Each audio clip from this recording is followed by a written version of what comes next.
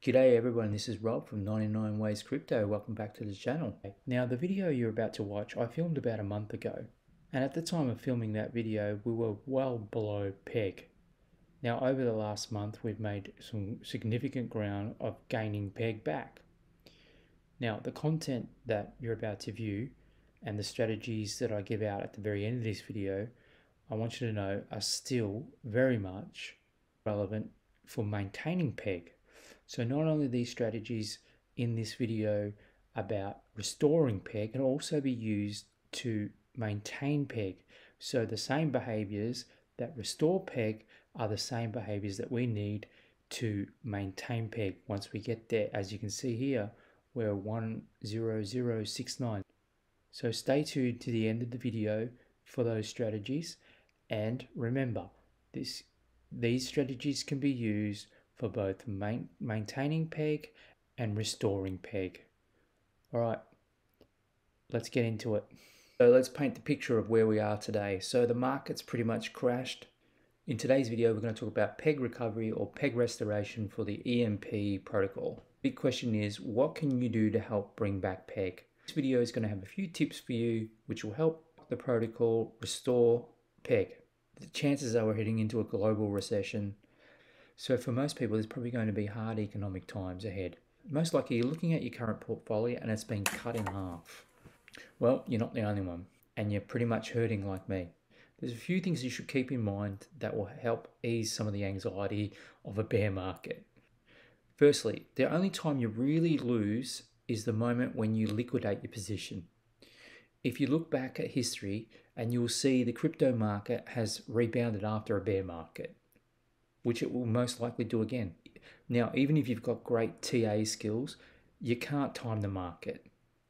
Yes, some of those indicators will put you in a better position, but the reality is you can't actually time the bottom. So don't sell at a loss out of fear. Number two, I would recommend keeping your emotions in check. By keeping your emotions out of the equation, you'll be able to put yourself in a better position and those who can will be able to accumulate in a bear market and make some really good profits in the years to come.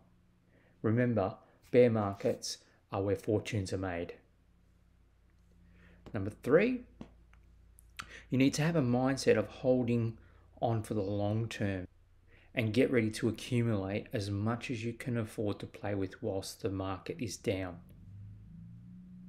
Uh, look, I know there's a lot of fear in the market right now, but this is the time. How many times have you really looked at the history of a chart and gone, gee, I wish I'd have picked up some ETH or some BTC at, when it was at this price? If only, if only, if only. Well, the good news is this is one of those times. Another way to, to curb your emotions during times like this is to focus on your current token accumulation or emission rates.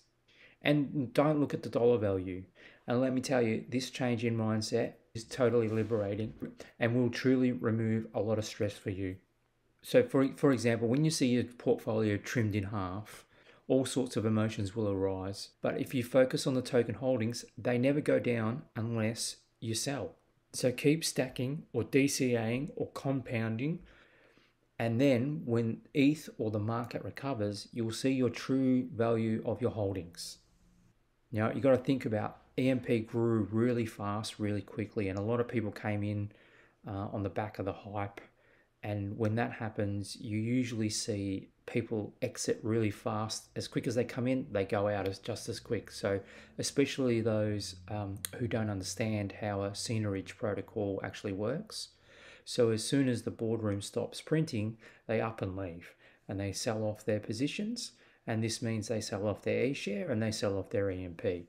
And the flow on effect of that is that suddenly we've got excess amounts of EMP floating around on the market from all of those who dumped their tokens.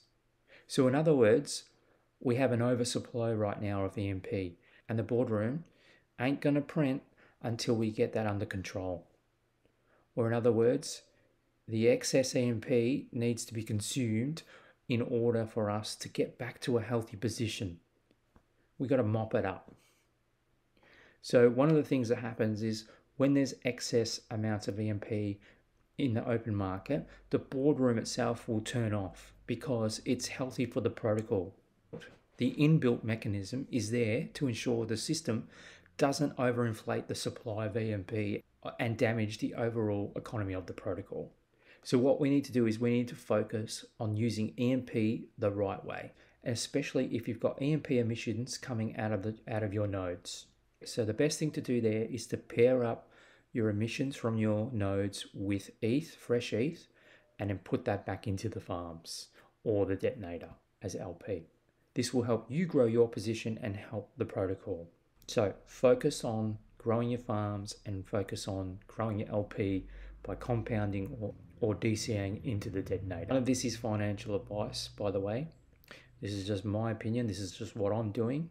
I'm just a Joe Blow on YouTube. So take my word for a grain of salt, but here's a few tips anyway to recover PEG, but definitely not financial advice. Okay, so now let's talk about the pros and cons and the things that you can do to help bring back PEG. Let's have a quick look at some of the do's and don'ts in terms of PEG restoration. Starting with the do's, sell eShare for EMP. By farming eShares and selling them for fresh EMP, that is by far the best thing that you can do for this protocol. The next best thing to do is once you've purchased fresh EMP is to pair it with ETH for LP. As I said earlier, it's all about how we use our EMP tokens that is so important. When the market's down, this is the best time to actually start to focus on growing your farms. Remember, the farms are the key to the indefinite money loop. The next thing you might want to look at is using the Magic Auto Vaults or any of the auto vaults that are being provided by the EMP team. Not is it only a good idea to create liquidity pools for entry into the farms, but also into the detonator. Another positive thing that you can do for the protocol is to purchase e-bonds. Now let's move on to the don'ts. Now the worst thing you can do for yourself and for the protocol is to dump EMP.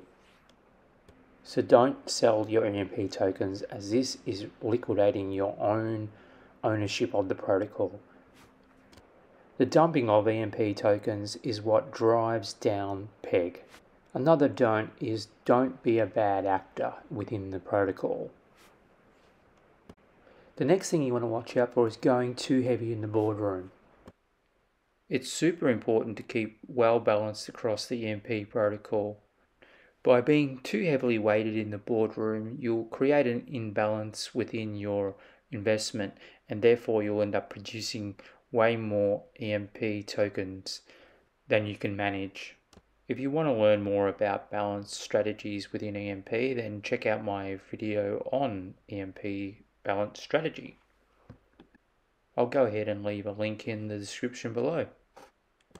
The next thing I want to talk about is a common mistake that's made, and that is to buy e-shares instead of farming them.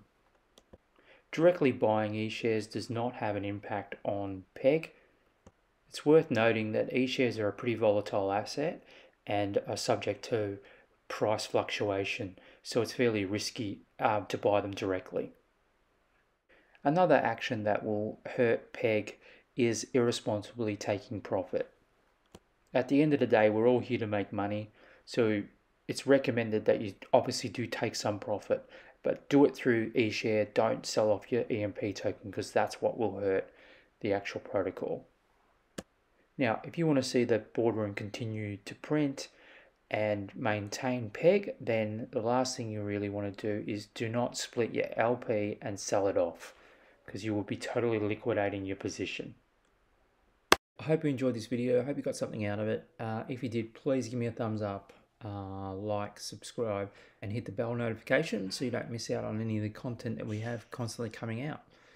Anyway, thank you very much for watching. It's greatly appreciated. I will catch you in the next one. Rob out.